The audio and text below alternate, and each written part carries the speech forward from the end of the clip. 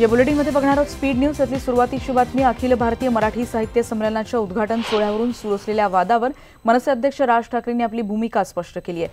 नयनतारा सैगल यांच्यासारख्या ज्येष्ठ लेखिका जर संमेलनात येणार असतील आणि त्यांच्यासमोर जर मराठी साहित्याची समृद्ध परंपरा खुली होणार असेल आणि त्या जर ही परंपरा जगासमोर नेण्याच्या प्रक्रियेत एक वाहक असतील तर मला अथवा माझ्या पक्षाला आक्षेप असायचं कारणच नाही असं राज ठाकरेंनी स्पष्ट केलं आहे इंग्रजीतल्या ज्येष्ठ लेखिका नयनतारा सहगल मराठी साहित्य संमेलनासाठी येणार नाहीत आणि निमंत्रण मागे घेणारं पत्र त्यांना आयोजकांनी पाठवलं होतं. सहगाल या अमराठी आहेत आणि त्यांना का बोलावलं जावं यावर काही दिवस दिवसांपासून वाद सुरू होता. दीपक सावंत यांच्या रिक्त आरोग्यमंत्री पदाचा कार्यभार आता मुख्यमंत्र्यांकडे देण्यात आलाय. शिवसेना पक्षप्रमुख उद्धव ठाकरेंनी आरोग्यमंत्री सावंत यांच्या कार्यभाराबाबत सेनेच्या कोणत्याच मंत्र्याचं नाव न सुचवल्यानं अखेर हा कार्यभार मुख्यमंत्र्यांकडे देण्यात आला. माजी खासदार प्रियादत्त यापुढे निवडणूक लढणार नाहीत. पक्षाचे राष्ट्रीय अध्यक्ष राहुल गांधीनं पत्र लिहून त्यांनी ही माहिती दिली आहे. खासगी कारण त्याचप्रमाणे पक्षांतर्गत गटबाजीमुळे इच्छा नसल्याची खंत त्यांनी व्यक्त केली आहे. काँग्रेस पक्षामध्ये एका लोकसभा मतदारसंघावरून संघर्ष होऊ शकतो. दिवंगत गुरुदास कामत यांच्या लोकसभा मतदारसंघावर मुंबई काँग्रेस अध्यक्ष संजय निरुपम यांच्यासह कृपाशंकर सिंग यांनीही दावा केला आहे जळगाव लोकसभा मतदारसंघात राष्ट्रवादी काँग्रेसतर्फे राज्याचे विशेष सरकारी वकील अॅडव्होकेट उज्ज्वल निकम यांचा उमेदवारीसाठी विचार सुरू हो आहे. पण यावर उज्ज्वल निकम यांनी आपलं मत स्पष्ट केलं. राष्ट्रवादी काँग्रेसनं मला लोकसभेसाठी तिकिटाची ऑफर दिली पण माझा कुठल्याही राजकीय पक्षाशी संबंध नाही. मी माझ्या खटल्याच्या कामात व्यस्त असल्यानं मी याबाबत विचार केला नसल्याचं त्यांनी म्हटलंय. जोपर्यंत धनगर समाजाला आरक्षण मिळत नाही तोपर्यंत मंत्रालयाच्या दालनात प्रवेश करणार नाही असं पंकजा मुंडेंनी काल नांदेडच्या मळेगाव इथे सुरू असणाऱ्या खंडोबाच्या यात्रेला जेव्हा भेट दिली तेव्हा त्यांनी वक्तव्य केलं भाजप अध्यक्ष अमित शहा आज नांदेडमधल्या गुरुद्वारा दर्शनासाठी येणार आहेत. काल भाजपा कार्यकर्ता मेळाव्यासाठी ते लातूरला आले होते. आज लातूरहून साडेनऊ वाजता हेलिकॉप्टरहून निघून ते नांदेडला येत आहेत आणि साडे दहा ते अकरा दरम्यान अमित शहा सचखंड गुरुद्वाराचं दर्शन घेतील. त्यानंतर विशेष विमानानं ते दिल्लीला जात आहेत. नितीन गडकरींना उपपंतप्रधान करा आणि पक्षाचं नेतृत्व शिवराजसिंग चौहान यांना द्या असा सल्ला भाजप नेते संघप्रिय गौतम यांनी दिलाय. त्याचबरोबर पक्षाचे सध्याचे राष्ट्रीय अध्यक्ष अमित शहा यांनी राज्यसभेवरच फोकस करावा असाही त्यांनी सल्ला दिलाय. उत्तर प्रदेशचे विद्यमान मुख्यमंत्री योगी आदित्यनाथ यांना धार्मिक कार्याला पाठवलं पाहिजे असंही त्यांनी माध्यमांना दिलेल्या निवेदनात म्हटलंय. अमित शहा यांनी काल मुख्यमंत्र्यांसोबत लातूरमधल्या संकल्प मेळाव्यात कार्यकर्त्यांना मार्गदर्शन केलं आणि निवडणुकीला तयार राहण्याचे आदेश दिले. स्वतंत्र लढण्याची तयारी ठेवा असं आवाहन मुख्यमंत्र्यांनी भाजप कार्यकर्त्यांना काल केलं.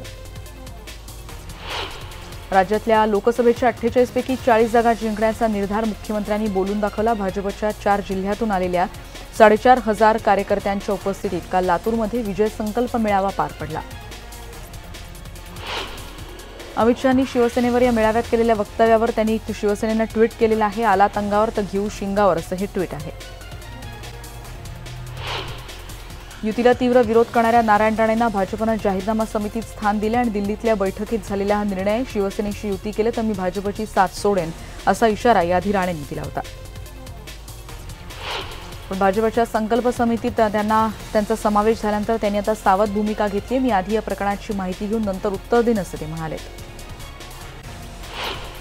राज ठाकरेंनी काल शरद पवारांची भेट घेतली. मुंबईतल्या सिल्वरोक या निवासस्थानी या दोन्ही नेत्यांची दोन तास चर्चा झाल्याचं कळत आहे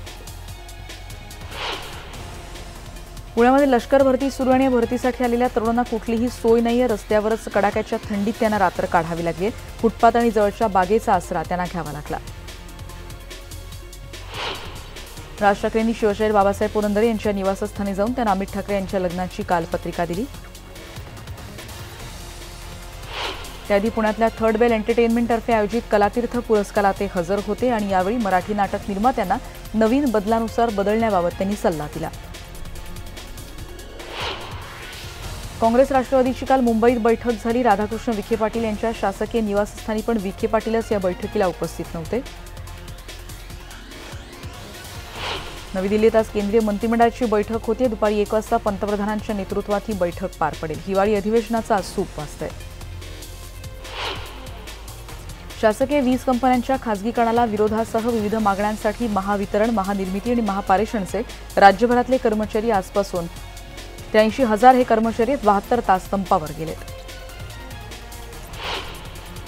सुधारित वेतन करार सानुग्रह अनुदान आणि बेस्ट महापालिकेत विलिनीकरण या मागण्यांसाठी बेस्टचे कामगार आज मध्यरात्रीपासून संपावर जात आहेत. तोडगा काढण्यासाठी एक महत्वाची बैठक दुपारी होते. सरकारच्या कामगार विरोधी योजनांविरोधात सार्वजनिक क्षेत्रातल्या बँकांनी आठ आणि नऊ म्हणजे मंगळवार आणि बुधवारी संप पुकारलाय. कर्मचाऱ्यांच्या संपामुळे देशातल्या बँकांच्या व्यवहाराला फटका बसू शकतो. मेट्रो दोन अ ब आणि सातसाठी विद्युत आणि यांत्रिक प्रणालींशी संबंधित कामाबाबत कंत्राटदार नियुक्तीची शिफारस करण्याचा महत्त्वपूर्ण निर्णय एमएमआरडीएनं घेतलाय. तीनही मार्गिकांच्या बावन्न स्थानकांवर स्वयंचलित भाडे आकारणीच्या दृष्टीनं आवश्यक व्यवस्थेसाठी कंत्राटदार नियुक्त केले जात आहेत पुण्यातली बातमी आपण बघतोय रस्त्यावरच या तरुणांना कडाक्याच्या थंडीत या उमेदवार तरुणांना रात्र काढावी लागली आहे उल्हासनगरमधली बातमी एका दुचाकीच्या डिकीतून रोकड चोरी करतानाची घटना आहे. चार लाखांची ही रोकड होती. सीसीटीव्हीच्या आधारे पोलिसांनी चार जणांना अटक केली आहे.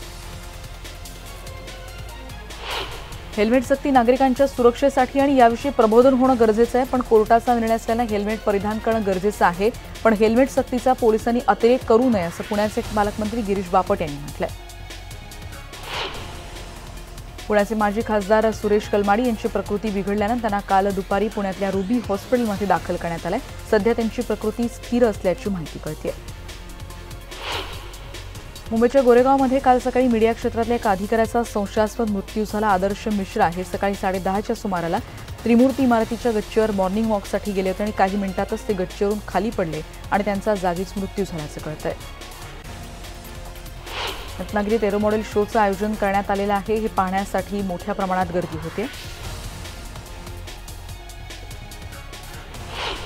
नागपुरात भोसला मिलिटरी स्कूलच्या कस्तुरचंद पार्क येथे तेविसाव्या वार्षिक कार्यक्रमाचं आयोजन करण्यात आलं होतं. विविध प्रकार जिम्नॅस्टिक एरो मॉडेलिंग शो असे तिथल्या विद्यार्थ्यांनी तिथे सादर केले.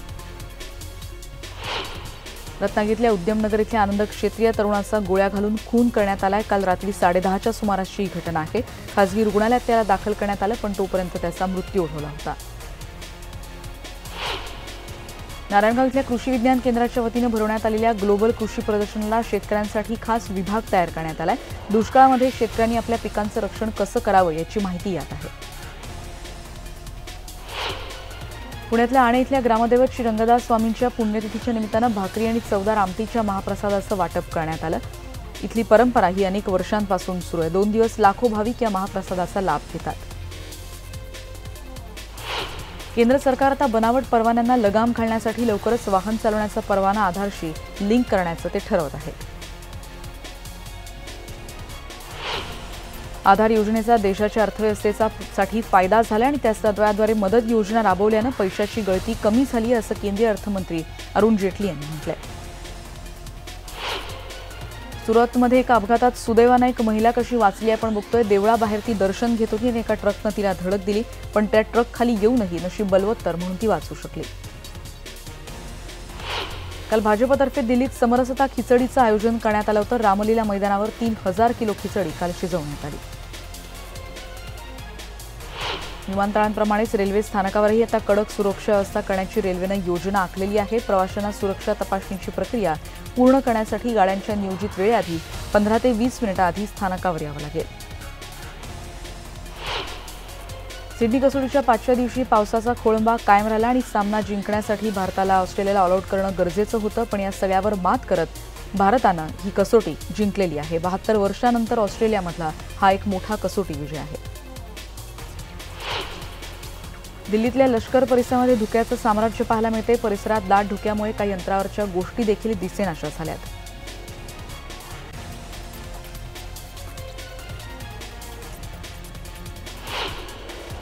अमृतसरमध्ये तापमानात घट होतीये चांगलीच थंडी पडलेली आहे आणि रस्त्यांवर उब मिळवण्यासाठी शेकोट्यांचा आधार घेतला जातोय. अंदमान समुद्र आणि लगतच्या परिसरात घोंगावत असलेलं पाबुक हे चक्रीवादळ या द्वीपसमूहाच्या दिशेनं सरकतंय आणि त्यामुळे अंदमानला वादळाच्या धोक्याचा केशी रंगाचा इशारा आता जारी करण्यात आलाय. शिमल्याच्या नरकांद भागामध्ये मोठ्या प्रमाणात बर्फवृष्टी होते आहे पर्यटक त्याचा मनमुरात आनंद घेत आहेत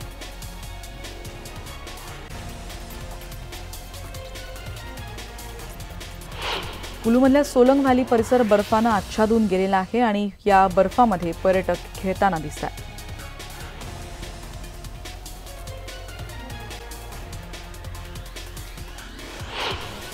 जम्मूच्या दोडा इथे जोरदार बर्फवृष्टी झालेली आहे. या परिसरात पांढरी चादर पसरले की काय असं वाटावं अशी ही दृश्य आहेत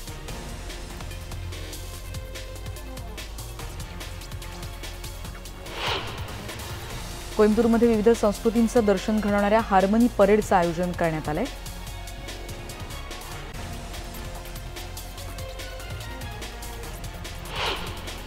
शिमल्यामध्ये ड्रग अवेअरनेस आणि स्त्रीभ्रूण हत्येच्या जनजागृतीसाठी एका रॅलीचं आयोजन करण्यात आलं होतं.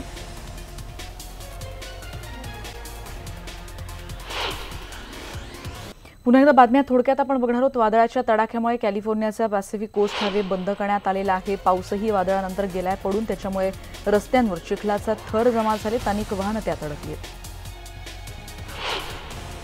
बातमी जेरुसलेममधली ख्रिस्ती ऑर्थोडॉक्स चर्चमध्ये खास ख्रिसमस निमित्तानं एका मासचं आयोजन करण्यात आलेलं होतं. येशूच्या जन्मस्थळी असणाऱ्या चर्चमध्ये हा मास करण्यात आला. इजिप्तमध्ये देखील ख्रिश्चन समुदायातर्फे कैरोच्या सेंट अँटनी चर्चमध्ये या मासचं आयोजन करण्यात आलं होतं. चीनमध्ये सध्या जोरदार थंडी पडलेली आहे. उत्तर चीन भागात सॉल्ट लेक तयार झालेला आहे जो बघण्यासाठी मोठ्या प्रमाणात गर्दी होते. एकशे बत्तीस चौरस किलोमीटरचा हा सगळे परिसर त्यामुळे व्यापून गेलेला आहे. विविध प्रकारचे क्रिस्टल्स देखील या सॉल्ट लेकमध्ये आता तयार झाले. सेझी बेट आणि चितांग बेंडावर चीननं तीनशे ऐंशी मीटरचे विजेचे खांब उभारलेले आहेत. पाचशे किलोवॅट इतकी क्षमता त्याचे दोन टॉवर उभारून आपण चौदा विश्वविक्रम केल्याचा दावा चीननं केलाय. अबुधाबीचे राजपुत्र शेख मोहम्मद बिन झायद अल निहान पाकिस्तान दौऱ्यावर आहेत आणि त्यांच्यासाठी पाकिस्ताननं रेड कार्पेटनं त्यांचं स्वागत केलं. पंतप्रधान इम्रान खान यांनी स्वतः गाडी चालवत त्यांना त्यांच्या निवासस्थानी नेलं. ग्रीसमध्ये जोरदार बर्फवृष्टीमुळे जनजीवन कोलमडून पडलेलं आहे. थंडीच्या लाटेत पाच जणांचा मृत्यू उठवलाय ऑस्ट्रियातली बातमी आल्सोरिसामध्ये हिमकडे कोसळण्याची शक्यता हवामान विभागानं वर्तवलेली आहे. प्रशासनानं सतर्कतेचा इशारा दिलाय.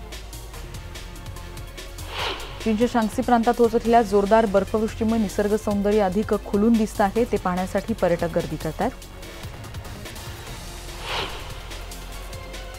चीनच्या आईस सिटीची बातमी आहेत उत्तर चीनच्या हार्बिन शहरात सुंदरशी आईस सिटी उभारण्यात आलेली आहे आणि दोन हजार अठरामध्ये सव्वा सात कोटी पर्यटकांनी इथे भेट दिलेली आहे.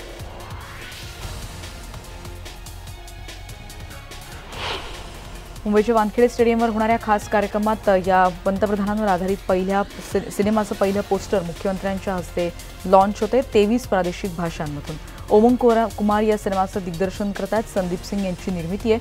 तरुणपणीच्या भूमिकेसाठी विवेक ओबेरॉयचं नाव निश्चित करण्यात आलं आहे आणि त्यानंतरची भूमिका परेश रावल साकारणार आहेत. स्वरा भास्करनं शबरीमला मंदिरात भगवान अयप्पांचं दर्शन महिलांनी घेतल्यानंतर मोठ्या प्रमाणात जी परिस्थिती चिघळली होती त्याबद्दल एक वक्तव्य केलेलं आहे. तिथे पोलीस स्टेशन तिकडे हल्ला करण्यात आला होता बॉम्ब हल्ला आणि पोलीस स्टेशनवर बॉम्ब टाकणारे दहशतवादीच असू शकतात असं तिनं आहे रोहितचा सिम्बा हा सिनेमा सध्या बॉक्स ऑफिसवर बक्कळ कमाई करतो आहे आणि सिनेमा चालवण्यासाठी रोहितनं रेपसीनचा आधार घेतला असा आरोप नेटिझन्सनी त्याच्यावर आहे त्याच्या त्याच्यावर उत्तर देताना सिनेमे चालवण्यासाठी मला असं काहीही करायची गरज नाही असं उत्तर रोहित शेट्टीने दिलं रणवीर सिंग दीपिका पदुकोण यांनी एकमेकांसोबत रामलीला बाजीराव मस्तानी आणि पद्मावत या सिनेमांमध्ये कामं केलेली आहेत पण वर्षभरात म्हणजे लग्नानंतर ते एकाही सिनेमात एकत्र काम करणार नसल्याचं आता स्पष्ट झालंय. बिग बॉसचा बारावा सीझन दीपिका कक्करनं जिंकला असला तरी सोशल मीडियावर सातत्यानं त्याच्यावर तिच्यावर टीका होती श्रीसनच्या फॅन्सनी दीपिकाला ट्रोल करायला त्यामुळे सुरुवात केली तापसी पनुनी अमिताभ बच्चन यांचा राष्ट्रीय पुरस्कार विजेता पिंक या सिनेमाचा तमिळमध्ये रिमेक येतो आहे. सुपरस्टार अजित या सिनेमात अमिताभ यांची भूमिका साकारणार आहेत आणि विद्या बालन तापसीची भूमिका या रिमेकमध्ये साकारणार आहे कपिल शर्माच्या नव्या सीझनला नुकतीच सुरुवात झालेली आहे. कपिलनं त्याच्या फीमध्ये मोठी कपात केल्याचं कळतंय. सलमान खान प्रोडक्शनसोबत ही सहनिर्मिती आहे. एरवी एका एपिसोडसाठी साठ ते सत्तर लाख घेणारा कपिल यावेळी दहा ते बारा लाख रुपये मानधन घेतोय.